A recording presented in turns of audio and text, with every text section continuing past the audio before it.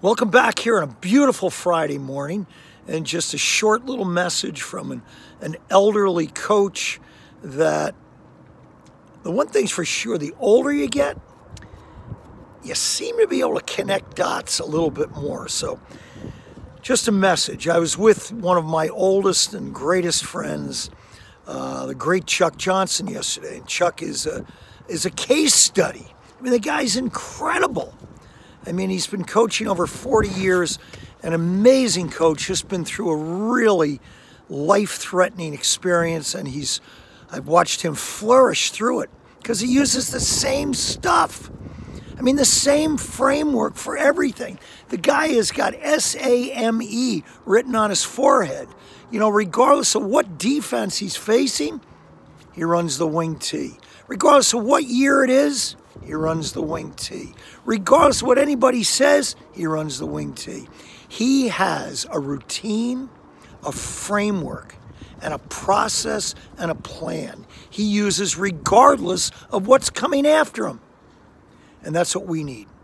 So here's the framework that I think works for me. Maybe it'll work for you. E does not equal O. It doesn't. The events in our life doesn't equal the outcome because there's an R stuck in between there called your response. And your response to the events is totally on you. It's on you.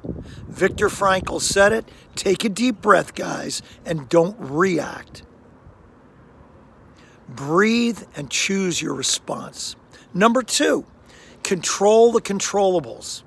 What can you do today? Not what you can't. What are the options you have within the restraints to become as creative and resourceful and determined to be everything you can be? Because the controls are the key.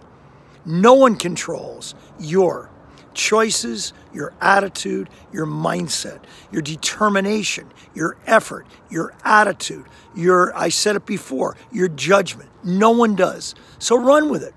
Hey, remember the people used to say, I don't have the time to work out. I don't have the time to meditate. I don't have. Not anymore. Number three, the key to sustaining during tough times, the key to resiliency is one thing it's research based. It's called optimism. And optimism is a learned skill. It's a learned skill. So you have to actually do it. And it's as simple as this. Every day at the end of the day, what are three things that went well today and how did it make you feel? Martin Seligman, 2005, researched thousands of people. It works. So, what is your attention focused on? What are you focusing in on? What's going well, what you can do, or what's not going well, and what you can't do? It's your choice. It's the old stuff. Here we go again. Gratitude. Come on, Stroker. You can't be grateful during this time. You must. Because your strength, your attitude, your energy must be that of a, a vibrant, tremendous leader. And you've got to stay grateful for the things you have, not the things you don't have. And then finally, hey, I have a funny feeling your book is being written. I have a funny feeling that your book is in the most important chapter of the entire book. And it's the chapter when the challenge came up. Joseph Campbell said it so beautifully. We are all born to be heroes of our own life.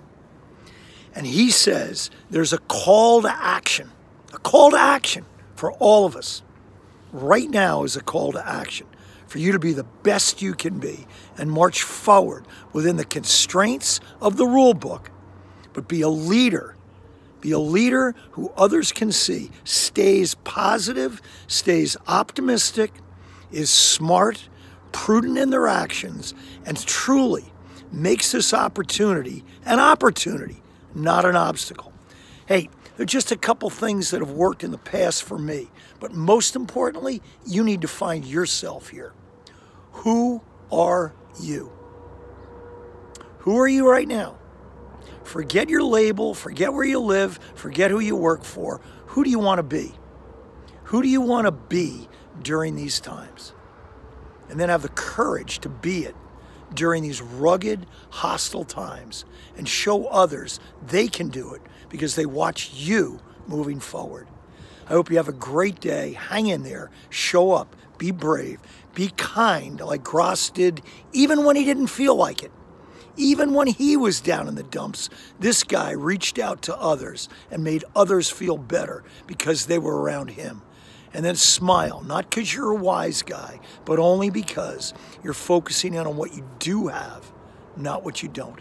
Have a great day.